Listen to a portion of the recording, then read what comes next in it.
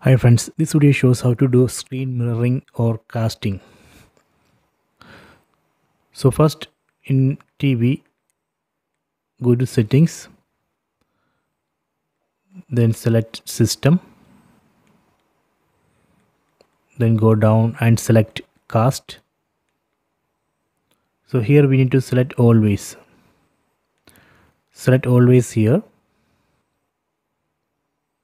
Then in mobile phone open settings tap on the settings app icon then select connected devices. Then select connection preferences. So here we can see cast tap on cast then tap on the tv name. Here you can see it is showing the name of the tv tap on that. That's connecting.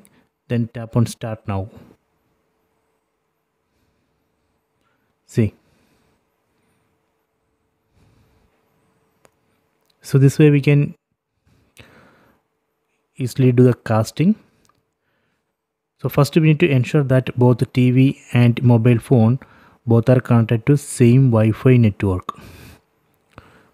Okay so here you can see uh, this mobile phone is connected to Wi-Fi network. Let me go to settings. Network and internet.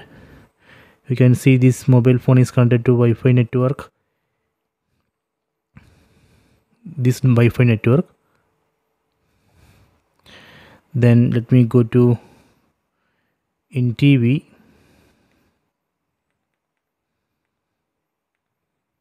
go to settings then go to network and internet. You can see a TV also connected to same Wi-Fi network.